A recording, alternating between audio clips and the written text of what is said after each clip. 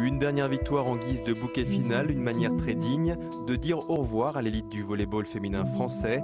Deux saisons après avoir retrouvé le championnat de France professionnel, le RC Villebon 91 va devoir quitter les projecteurs du haut niveau pour assurer sa survie en coulisses.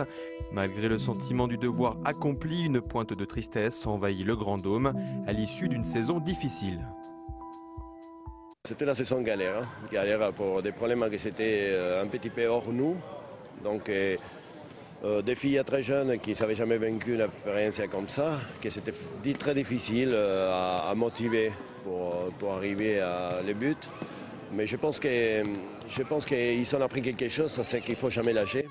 Une fois encore, le club essonien va voir partir l'ensemble de son effectif, mais contrairement à la première relégation en 2006, son avenir est loin d'être assuré. L'intersaison risque d'être mouvementée avec l'espoir de repartir en National 1.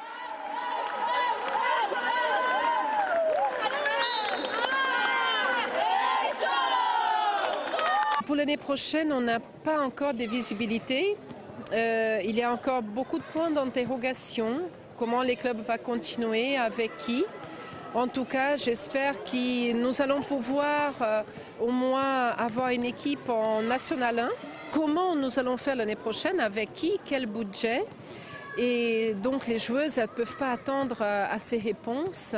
Donc aujourd'hui, je pars du principe que nous n'avons plus personne à niveau de l'équipe pro euh, parce que notre projet n'est pas encore fait.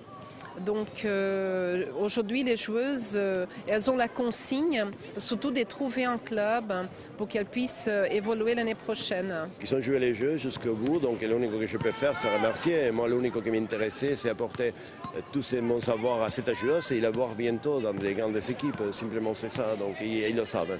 Donc c'est bien. Peut-être les grandes équipes seront les miennes en quelques années, je ne sais pas, mais bon, ils seront là. Je pense que on a, on a des, filles euh, qui, veulent faire jouer une carte sur le volleyball. il faut qu'ils continuent. Donc, euh, j'espère que les clubs sont assez intelligents pour les récupérer.